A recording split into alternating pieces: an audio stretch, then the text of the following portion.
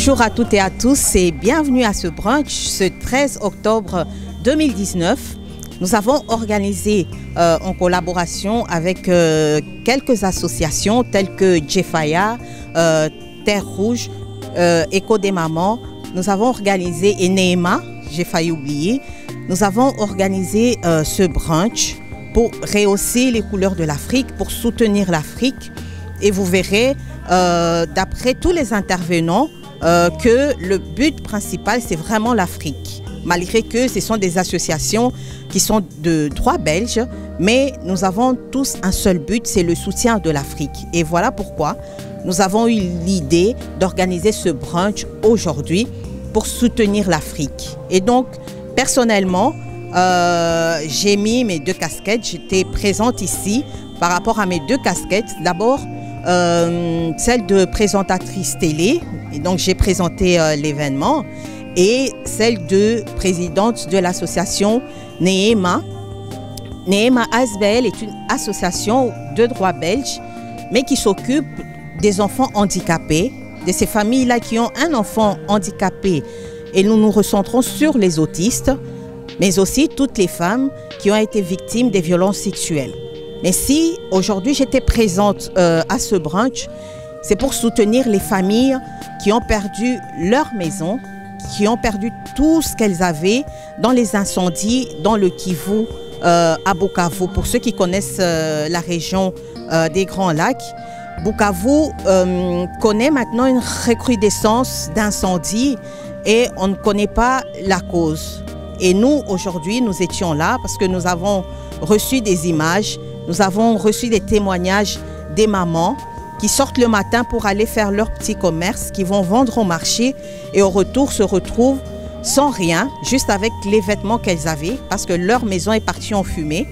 Et d'après les chiffres que nous avons reçus, il y a eu plus de 300 maisons qui, ont, euh, qui sont emportées par euh, les flammes. Et donc voilà, nous, nous sommes là pour soutenir toutes ces familles qui aujourd'hui dorment à la belle étoile. Et nous, nous, voulons vraiment faire quelque chose, même si de, notre côté, avec les petits moyens que nous, nous avons, nous n'avons pas ce poids-là, ce pouvoir-là de les soutenir. Nous lançons un appel au gouvernement, nous lançons un appel à toutes les autres associations, à toutes les ONG. Nous vous lançons un appel. Allez, descendez sur place, vous tous qui êtes au Congo en cet instant. Allez faire euh, un tour, un reportage dans le Kivu, à Bukavu, et vous verrez que ce sont des populations qui ont vraiment besoin de notre soutien. Il y a des enfants qui ne vont plus à l'école, il y a des enfants qui n'ont plus de vêtements, qui n'ont plus de chaussures. Donc nous sommes là et nous avons vraiment besoin de votre aide, nous avons besoin de votre solidarité. Voilà, je ne veux pas m'étendre en longueur là-dessus. Nous en parlerons sur les pages euh, Facebook de Neema. Pour l'instant, je vous laisse aussi profiter euh, de ce brunch. Nous allons vous montrer tout ce qui, va se passer. Profitez avec nous, même si vous n'étiez pas présent, comme on dit, euh, loin des yeux, mais près du cœur. Nous sommes ensemble. Je m'appelle Elena Matundu et je suis la présidente de l'ASBL GFAIA. GFAIA, c'est le groupement des femmes africaine, intégrée et active. Voilà, nous existons depuis 2008 euh, et en fait, euh, on s'est constitué euh, en association car on a remarqué que les femmes africaines n'avaient pas beaucoup de tribunes, elles n'avaient pas beaucoup de plateformes où elles pouvaient s'exprimer, où elles pouvaient venir parler de leurs activités, des projets, des, concepts qu'elles ont créés. Et voilà, nous avons voulu donc les rassembler autour d'une plateforme qui s'appelait à l'époque The One. C'est une plateforme où toutes ces femmes venaient en fait expliquer un peu leurs projets, leurs concepts et aussi leurs success stories. Parce qu'il y a beaucoup d'Africaines qui ont des success stories, mais on n'en parle pas. En dehors de cela, donc euh, Jeffaya est là aussi pour soutenir euh, toutes les actions, euh, toutes les associations qui œuvrent en Afrique. Pour la femme africaine, pour l'enfant, les enfants, comme Terre Rouge. C'est pour ça qu'aujourd'hui, en fait, on s'est associé aussi euh, donc, euh, à ce brunch qui, pour nous, est euh, une, première. Parce qu'un brunch avec un buffet africain, je pense qu'on n'a pas vraiment encore vu ça ici.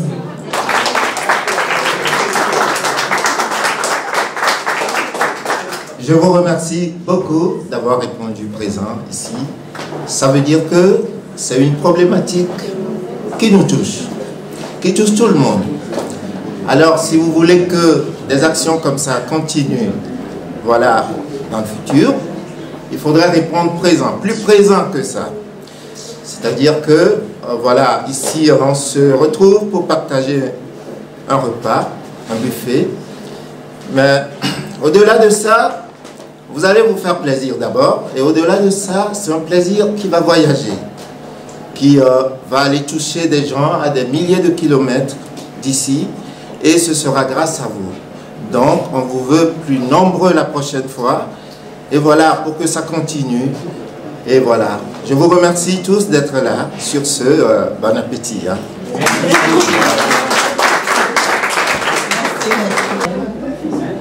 Merci euh, de venir aujourd'hui rehausser donc, les couleurs de l'Afrique. Nous sommes ici assemblés. Il n'y a pas que les Congolais, il y a plusieurs, euh, plusieurs origines hein, africaines. Et il y a même des personnes qui m'ont dit, ils ont la peau blanche, mais dans la tête, ils sont africains. Donc, euh, c'est rassurant. Alors, sans plus attendre, je vais passer la parole avant de lancer euh, une séquence vidéo. Je passerai la parole à M. Eric Mansens, qui est euh, administrateur délégué de Terre Rouge, que vous voyez là. Et quand j'ai vu la brochure, j'ai un petit peu parcouru je me suis dit, c'est vraiment un monsieur qui a un grand cœur. Parce que c'est son association, son ONG s'occupe euh, des, des, enfants, euh, jeunes enfants, euh, adolescents, qui sont à la rue. Communément, ceux qui ont vécu à Kinshasa, on les appelle les enfants chégués. Il a son association au Bénin et au Sénégal. Et je vais lui passer la parole. Monsieur, si vous pouvez vous parler un petit peu de votre association et la présenter. Merci beaucoup de pouvoir euh, vous parler quelques instants. Euh, je fais partie de ces, de ces Belges qui se sentent complètement africains. D'ailleurs, je suis africain. Ah, bah, voilà. Ça se voit pas, c'est pas évident comme ça. Euh, alors, il y a une dizaine, une douzaine d'années, on a créé Terre Rouge. J'étais à la base. Euh, l'idée est venue de, après plusieurs voyages en Afrique, et notamment euh, au Bénin, j'avais eu l'occasion d'aller à plusieurs reprises, et j'étais particulièrement touché avec des collègues que j'avais rencontrés là-bas par le problème de ces enfants qui vivent dans la rue. Euh, qui vivent dangereusement dans la rue parce qu'ils sont fort seuls, ils n'ont plus de liens, ils n'ont plus de parents, il n'y a personne pour s'en occuper, donc ils sont livrés à eux-mêmes.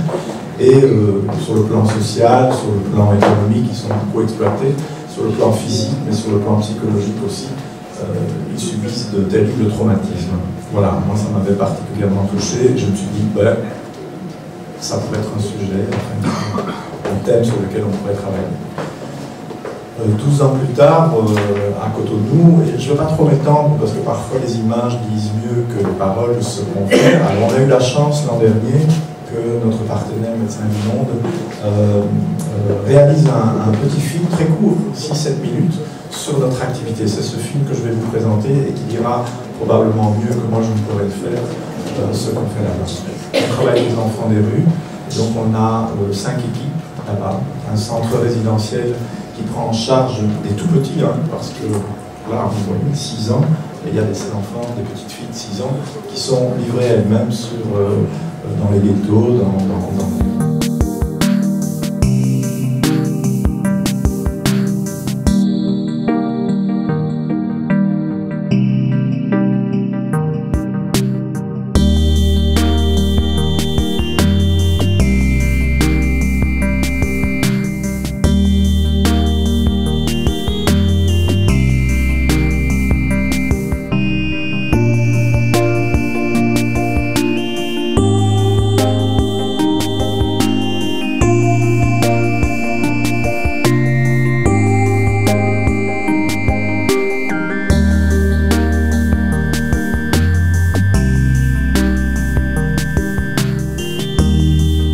Terre Rouge depuis 10 ans, on est en Afrique de l'Ouest. Euh, le fait que c'est au Bénin ou au Sénégal, euh, c'est lié à des rencontres qu'on avait faites avec des, Belges qui allaient déjà dans ces pays, qui m'ont permis de les accompagner. Donc j'ai rencontré le Sénégal, j'ai rencontré le Bénin, mais euh, l'histoire aurait pu être différente. ça aurait pu être au Cameroun ou au Congo, voilà. Mais c'est vrai qu'au Sénégal et au Bénin, j'ai rencontré des collègues qui faisaient un peu le même métier que moi et qui était très euh, à la fois curieux et désireux de, faire un partenariat avec nous. Donc j'ai trouvé vraiment des, très bonnes compétences sénégalaises et béninoises pour commencer ce projet. Donc en gros, euh, Terre Rouge, c'est du travail avec les enfants des rues, hein, des enfants qui vivent dans des conditions euh, extrêmement dures, violentes parfois, beaucoup d'exploitation, y compris la nuit dans les métiers de la prostitution malheureusement. Et on essaye de faire un travail à la fois éducatif, social, euh, sanitaire, mais euh, psychologique aussi, parce qu'il y a beaucoup de, dégâts sur le plan psychologique pour ces, jeunes, à la fois liés à leur passé qui a été difficile, mais aux conditions de vie dans lesquelles ils sont encore maintenant. Donc ça, c'est ce qu'on essaye de faire euh, au quotidien avec eux. Mais vraiment, l'idée, c'est de les sortir de la rue. Comment vous arrivez à recenser tous ces enfants-là? Parce que j'imagine qu'il y en a beaucoup dans les rues. Comment vous arrivez à les atteindre déjà et à les recenser? Alors en tout cas pour les atteindre, ce qu'on a mis en place, c'est une équipe qu'on appelle une équipe de maraude ou de, sillonnage. Au Bénin on appelle ça du sillonnage. Donc euh, ce sont quatre euh, travailleurs de rue, euh, parmi lesquels il y a une infirmière d'ailleurs, puisque on, travaille aussi avec les filles et, beaucoup sur euh, tout ce qui touche à la santé de la reproduction.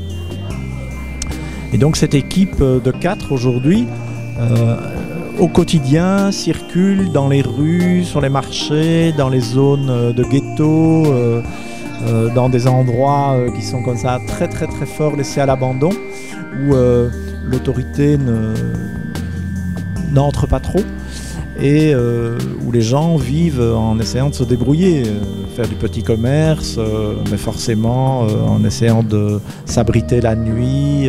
c'est le monde de la débrouille. C'est vraiment le monde de la débrouille. Et beaucoup de ces enfants qui sont en errance dans la rue trouvent auprès de ces marchands, de ces patrons, de ces relais communautaires, trouvent en tout cas des moyens de subsistance. mais parfois ces moyens de subsistance s'avèrent quand même dangereux pour eux puisque euh, on les invite à faire des petits larcins, on les invite à faire du vol, ils sont amenés à, consommer des produits, de, la drogue ou euh, carrément à, mettre leur corps euh, en commerce. puisque beaucoup de filles sont, prises dans de la prostitution à partir, du soir. Donc c'est vraiment en circulant dans la rue, en apportant des soins infirmiers, en apportant euh, un premier contact. Parfois, c'est en faisant de la sensibilisation de la prévention, mais parfois aussi tout simplement en amenant des jeux, un ballon de foot pour commencer à faire contact et prendre connaissance avec eux. au fur et à mesure, euh, la liaison, la, relation s'amplifie. Ils entrent en confiance avec euh, nos travailleurs. Et puis progressivement, ils sont amenés à, à faire des demandes plus précises, comme par exemple je voudrais retrouver mon père, je voudrais retrouver ma mère, où se trouve ma famille, euh, est-ce que ce serait possible de retourner à l'école, euh, j'aimerais bien faire une formation professionnelle, etc.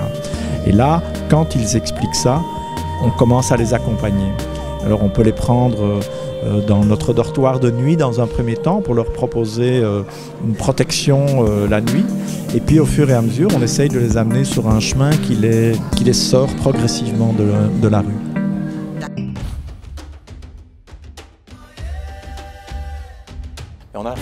Rouge il y a 10 ans maintenant, c'était en 2008. Et puis on s'est assez rapidement mis d'accord sur la cible sur laquelle on allait travailler, qui est les enfants des rues. Voilà, ça a été notre coup de cœur de pouvoir travailler dans ce domaine. Il y a à peu près 5000 enfants de rue à Cotonou.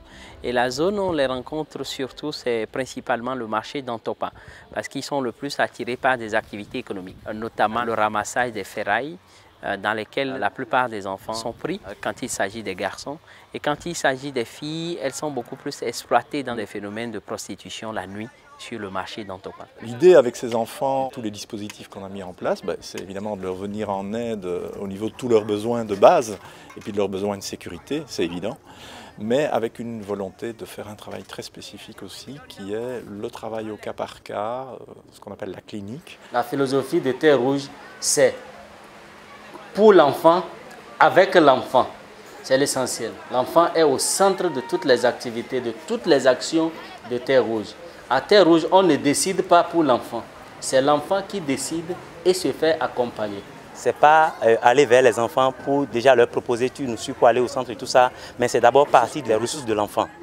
Qu'est-ce que l'enfant lui-même il a et nous on peut l'accompagner par rapport à ça. Parce que on a constaté qu'il y a des centres qui vont chercher les enfants, on les amène au centre ou bien on les réinsère en famille et après les enfants retournent encore dans la rue. À force de les soigner, à force de faire la sensibilisation avec eux, on arrive à gagner leur confiance pour pouvoir les écouter et aider l'enfant à devenir lui-même sans l'obliger à quoi que ce soit. L'institution Terre Rouge, le centre résidentiel, a une fonction soignante et accueillante pour chacun de ses enfants. Nous avons remarqué par exemple des enfants qui sont venus ici très déstructurés, mais qui en l'espace d'un mois, on a senti un vrai changement parce qu'il y a une structure, le fait d'avoir un emploi du temps, un code de vie, d'avoir, d'avoir des règles, ça donne de la structure à l'enfant, d'avoir des activités sociales, des activités éducatives, des jeux, ça les restructure et l'accueil qu'apporte l'institution, ça les aide vraiment à se poser déjà pour pouvoir se reconstruire. Moi, en tant que psychologue, j'ai des moments avec chacun des enfants en fonction de l'histoire de l'enfant. Le travail du centre résidentiel ne se limite pas qu'à l'enfant, mais prend en compte aussi la famille. Faire un travail d'accompagnement d'un enfant sans inclure sa famille, c'est comme vouloir construire une maison sans faire une fondation. Ça ne va pas durer. Quand l'enfant intègre le centre résidentiel ici, la confiance s'installe progressivement. C'est-à-dire que l'enfant ne vient pas aujourd'hui et qu'on espère de lui que déjà demain il nous apporte des informations par rapport à ses parents. Il faut tout le temps pour l'enfant de créer un lien de confiance avec nous, confiance qui lui permettra à un moment donné d'être prêt à nous conduire vers ses parents. Donc euh, le travail de médiation euh, entre enfants et famille commence justement à partir de cet instant où il faut pouvoir trouver le juste milieu pour que les deux puissent se comprendre en sachant que nous, notre travail est focalisé sur l'intérêt supérieur de l'enfant. Moi, je m'appelle 14 Maoujon, j'ai 15 ans. J'ai fait colporteur et chata. J'ai vu Cyril, j'ai indiqué, j'ai venu au stage à Djadou. Je suis ici depuis euh, quelques années. Je pars, je reviens, je pars, je reviens cause des situations de la maison. Mais grâce à Terre Rouge, ça allait. Au dortoir, tous les enfants qui viennent ont un référent. Ça peut être soit le psychologue, ça peut être soit l'animateur. Et avec ce type d'accompagnement, tous les enfants qui formulent la demande d'être écoutés sont écoutés systématiquement. Mais en même temps, des activités sont mises en place aussi pour recueillir les différents dits de ces enfants-là dans des moments non formels. Donc on partage tous les moments avec les enfants, on vit le quotidien de l'enfant avec eux. Ensuite, on les prend en entretien pour pouvoir discuter des questions liées à leur histoire personnelle. Les qualités que moi j'observe dans mon travail, c'est la vie. C'est toute la dynamique aussi de l'équipe qui travaille avec ces enfants-là, qui ont une certaine humanité et d'une façon naturelle de pouvoir être disponible pour eux. À partir du moment où l'enfant est pris en charge sur le plan psychologique et qu'il se sent bien dans sa tête, il fait des demandes sociales. Mais chez les plus grands dans la rue, on a constaté que plus le séjour dans la rue est plus long, plus la réinsertion est difficile.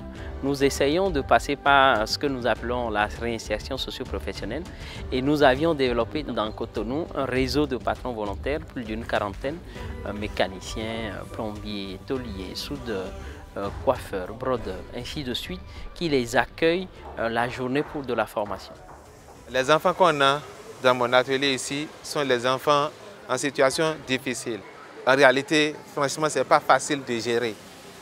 Mais grâce aux formations hein, des responsables de notre structure et aussi du côté du Terre Rouge qui est en partenariat avec euh, notre structure ici, qui nous aide les patrons à mieux encadrer ses enfants. Grâce à la formation, l'enfant peut s'installer et avec ça, il peut avoir tout ce qu'il veut pour être quelqu'un dans la vie.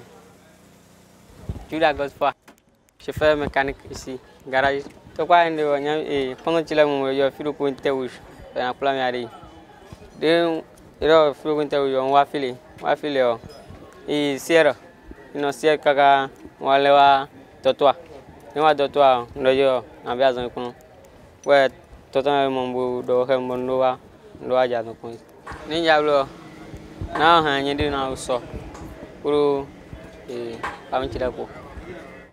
On se rend bien compte que euh, quand ils font de la formation professionnelle, on recrée autrement leurs valeurs sociales.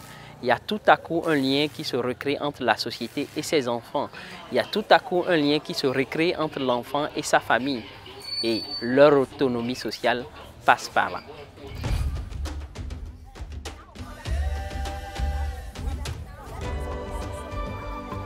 Le choix stratégique de Terre Rouge se justifie par le fait que dans la grande précarité sociale, euh, les domaines de fragilité euh, euh, sur l'enfant ou sur les populations vulnérables se trouvent être d'abord la santé psychologique, la santé médicale et la santé sexuelle et, et reproductive. Et tant que ces domaines-là ne sont pas pris en charge, il n'y a pas de développement personnel possible pour ces couches vulnérables. Je crois que Terre Rouge a bien fait de se pencher sur ce domaine au Bénin. Voilà, nous sommes toujours dans ce cadre magnifique à l'auberge Bondal. Et euh, là, c'est l'extérieur. Vous avez vu euh, l'intérieur. Ici, c'est l'extérieur. Et comme je vous disais, nous avions eu euh, plusieurs associations aujourd'hui. Nous avons eu ce privilège-là d'avoir quelques associations et dont celle que nous connaissons maintenant tous, Jefaya, dont la présidente Matundu est juste à mes côtés. Elle va me dire pourquoi elle a voulu faire euh, cet événement aujourd'hui. Et en fait, aujourd'hui, voilà, je tenais à participer à cet événement parce qu'il soutenait une œuvre caritative pour euh, un, pays africain. C'était pour des enfants et des jeunes euh, adolescents des rues que, l'association Terre Rouge prend en charge en fait. Et d'ailleurs, euh, la petite vidéo qu'on qu a vue, j'ai vraiment constaté vraiment la, la détresse et la pauvreté de, ces enfants.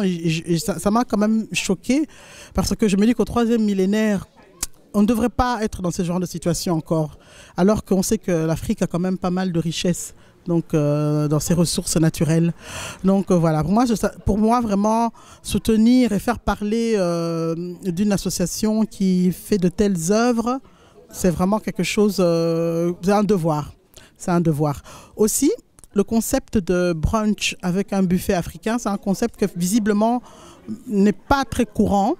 Et beaucoup de personnes d'ailleurs qui étaient là aujourd'hui euh, ont été très contentes parce qu'en fait, ici, on organise des brunchs, mais des brunchs avec un buffet africain, il n'y en a pas. Et je, trouve que c'est aussi une façon aussi de promouvoir notre culture, notre gastronomie. Et euh, voilà, moi je, pense que les gens devraient venir à la prochaine édition. On était déjà nombreux aujourd'hui, mais on devrait être encore plus nombreux vu qu'il y a de la place. Et euh, ce serait vraiment une bonne occasion aussi pour de se retrouver euh, autour d'un bon repas euh, et de passer la journée ensemble. Donc voilà, Elena a tout dit et nous sommes là et nous allons donc vous mettre. Peut-être qu'il y a des personnes aussi qui veulent soutenir Jeffaya. Je ne sais pas comment on peut faire pour te contacter toi personnellement ou l'un des membres de Jeffaya. Euh, en fait, on a une page Facebook qui est très très très interactive. Donc vous pouvez nous retrouver sur Facebook. Euh, donc c'est G-F-A-I-A, le groupement des femmes africaines intégrées et actives. Nous avons aussi une page Twitter avec qui euh, aussi nous communiquons aussi avec les personnes. Et euh, nous avons une adresse email qui est reprise dessus, un numéro de téléphone. voilà, on est, on, est, facilement joignable. donc il suffit que les personnes aillent sur la page Facebook. Nous avons aussi un site web, mais qui bientôt sera retravaillé et euh, c'est pourquoi je dirige les gens plus vers la page Facebook en fait.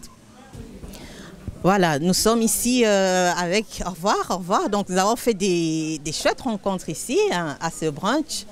Et j'ai à mes côtés la présidente de Écho des mamans, qui elle-même n'est pas maman. Hein? non, elle est maman, elle a des enfants, mais elle est encore jeune. Donc voilà, euh, ça c'était juste une parenthèse. Donc j'ai euh, la présidente de Écho des mamans. Donc elle va de nouveau se présenter et nous dire euh, pourquoi elle a tenu à être présente aujourd'hui déjà et nous dire un petit peu ce que Écho des mamans fait comme activité. Oui, bonjour. voilà, le pourquoi de notre présence ici. Bah, en tant que maman, d'abord, on est venu pour euh, soutenir votre euh, association parce qu'on est des mamans d'abord. D'accord. Et Écho des mamans en, général, qu'est-ce que vous faites comme, euh, comme activité? Parce que certaines personnes, quand j'ai parlé de Écho des mamans, elles m'ont dit ah bah maman bah soutenir président donc euh, dites-nous un petit peu euh, ce que vous faites en plus comme euh, activité. Oui, mais on doit juste souligner le soutien, le soutien au président, c'est vraiment important parce que au Congo, on n'a jamais eu à voir un président qui est vraiment patriote.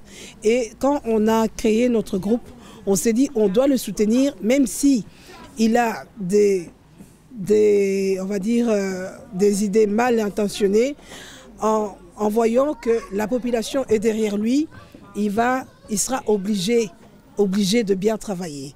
Donc euh, ça, c'est le soutien au président. Et dans Écho des mamans, c'est tout ce qui est formation. Parce qu'on a vu, on, voit hein, euh, au Congo, les mamans sont devenues des mendiantes les mamans, quand il y a quelque chose, les mamans, vont, ils y vont juste pour qu'on puisse leur donner un 10 euros, un 10, dollars ou un 100 dollars et ça s'arrête là. Mais nous, dans Éco des mamans, on veut que les mamans puissent être formées initier les mamans à qui, puissent suivre des, des, cours, qui puissent se former et que ces mamans aussi puissent connaître leurs droits et leurs devoirs. Ça, c'est écho des mamans. D'accord. Et euh, tout ce qui est, euh, par exemple, euh, côté médical, côté sensibilisation, comment vous allez vous y prendre une fois Écho des mamans installé à Kinshasa?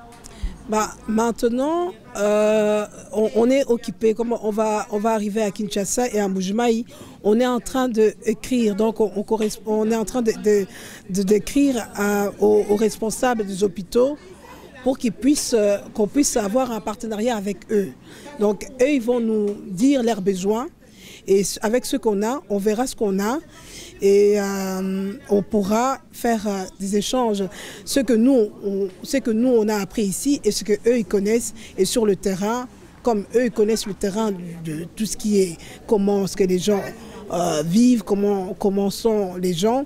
Eh ben, nous, on va juste collaborer avec, euh, avec les médecins du Congo. Mais on n'a pas encore, euh, pour le moment, on n'a pas d'hôpitaux, on n'a pas notre orphelinat. On veut juste collaborer avec les gens qui sont au Congo.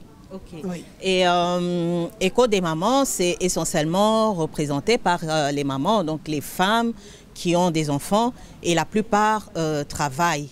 Et aujourd'hui, je sais que tu reviens du boulot, tu es fatigué. Juste un petit dernier mot pour euh, dire à toute personne qui voudrait soutenir Écho des mamans, à toute personne qui voudrait peut-être adhérer Écho des mamans, comment faire pour vous contacter ah bah, Pour nous contacter, euh, bah, je vais vous donner déjà mon numéro de téléphone parce qu'on a, un groupe sur WhatsApp et on, on fait adhérer les gens par WhatsApp. Et euh, voilà, donc mon numéro c'est 0465 90 85 30. Et donc il suffit juste d'appeler et avoir. Euh, on a d'abord. Euh, comment On a nos conditions aussi, hein, parce que dans le groupe, c'est toutes des personnes, des mamans qui soutiennent le président. Et pour adhérer dans l'écho des mamans, il faut juste dire, voilà, nous, moi aussi je soutiens le président. Pourquoi est-ce qu'on souligne ça? Parce que si vous ne soutenez pas le président que vous avez votre euh, vous avez notre vision, on risque d'avoir des, soucis dans le groupe. Quand nous, on va commencer à, dire A, vous allez dire B, et euh, on ne sait pas qu'on met les autres à, côté, non. On aimerait juste qu'on puisse être entre nous les gens qui soutiennent le président. D'accord. Et juste pour éviter euh, euh, d'amalgame, si de ce que j'ai compris, c'est que vous ne soutenez pas que euh, le président actuel, vous soutiendrez tout président qui sera, qui sera président donc au Congo, parce que si le président arrive au pouvoir et qu'il a le soutien de la population, il ne voudra pas euh, faire n'importe quoi euh, dans le pays. C'est dans cette philosophie-là. Tout à fait. Donc euh, quand on, a, on s'est réunis pour avoir notre association Éco des mamans, on s'est dit on va soutenir tout président du Congo élu démocratiquement. Mais un président qui viendra par un coup d'État, on n'aura pas à soutenir. Voilà, c'est bien souligné et c'est bien clair. Voilà. Et moi, je vous remercie et je vous dis à bientôt. Voilà, voilà. Donc euh, là, vous avez suivi euh, le brunch. Euh, ce 13 octobre, ce brunch qui a eu lieu dans ce cadre magnifique. Donc c'est le numéro 12 du Square du Vieux Tilleul. C'est vraiment un cadre magnifique c'est l'auberge Bondal. Je ne sais pas si vous voyez, l'auberge Bondal, c'est vraiment la frontière euh, entre XL et euh, Watermal Boisfort. Et c'est un lieu où vous pouvez organiser euh, vos mariages, vos anniversaires, toutes sortes d'activités que vous avez. Si vous avez un événement, vous pouvez appeler. Et c'est vraiment un cadre magnifique, comme vous l'avez vu. Et nous disons merci à tous les intervenants d'aujourd'hui. Merci à toutes les associations qui étaient présentes aujourd'hui. Plusieurs ont travaillé, ils sont fatigués. Et comme à l'africaine, nous avons commencé un petit peu en retard. Et demain, les enfants doivent aller à l'école. Donc voilà, nous vous disons merci, un grand merci à vous tous qui êtes venus, euh, à vous tous qui, n'avez pas pu venir, hein, parce que nous comprenons. Et nous vous disons merci. Et la, prochaine euh, édition de, du brunch, nous vous communiquerons euh, donc la date. Restez donc euh, connectés sur Média Plus Télévision. Merci.